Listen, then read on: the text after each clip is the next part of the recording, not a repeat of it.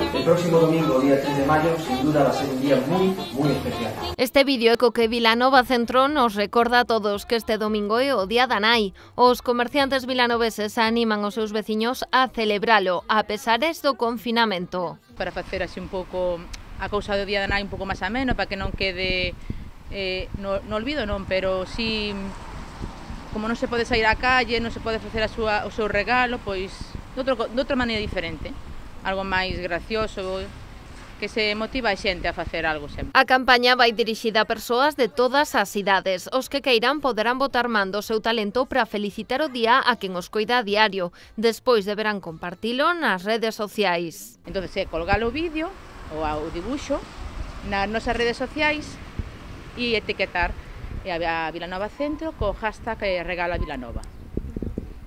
E despois o que máis me... É dicir, é, a maneira de gañar é que reciban máis me gustas posibles.